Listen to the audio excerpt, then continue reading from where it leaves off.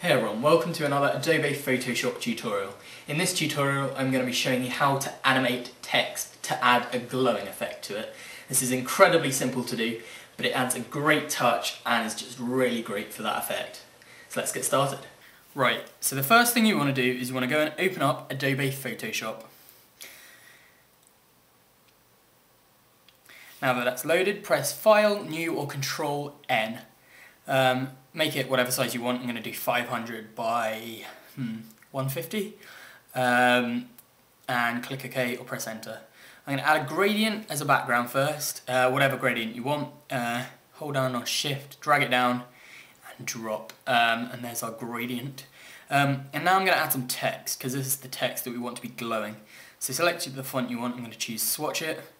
Uh, select the font size you want. Too small.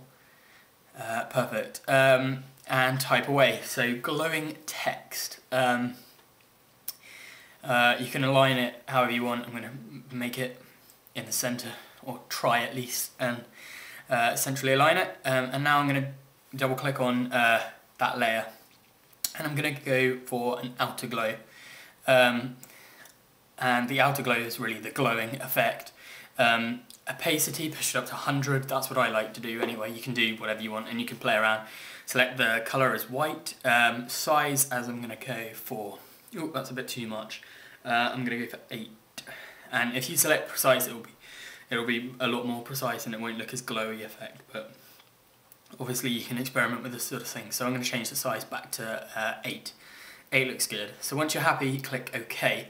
Now we want to go to Windows and you want to go down to Animation click it and this should appear at the bottom.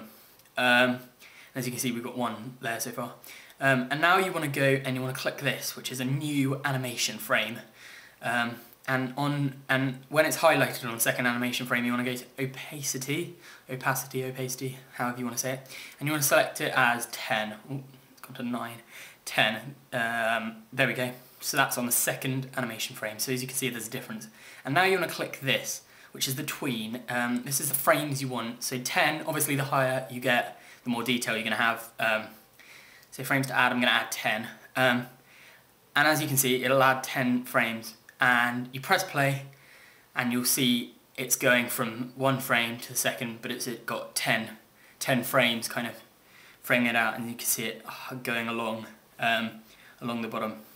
Um, so there we go, that's how to make the animation. Now for saving, you go to File, um, save as, I'm going to save it to the desktop. Um, select desktop. Um, I'm going to save it as animation. Sorry about that. Um, and save it as GIF. I know, wait. Um, oh gosh, I've done something wrong. I'm really sorry. Um, sorry. Cancel that. You go to, to save it, you go to File, Save for Web and Devices, and this new box should pop up. Save it as GIF uh, select the kind of settings you want roughly um, for it. Um, and once you're happy with the settings for the quality, press save. Uh, save it as a GIF and make sure it's saved to the desktop or wherever you want it saved as. Uh, name it whatever you want. I'm going to name it animation and click save. It should save and then that uh, web devices box should close. You can save it as a PSD as well if you want, uh, but you don't need to. Now you can open it up. You've got to make sure to get it animated. As you can see, I didn't open it up in an animated supported program, but uh, something like Firefox or Internet uh, Explorer should be um, compatible. So there you go, you've got the animation. Thanks for watching guys, more video tutorials coming up soon.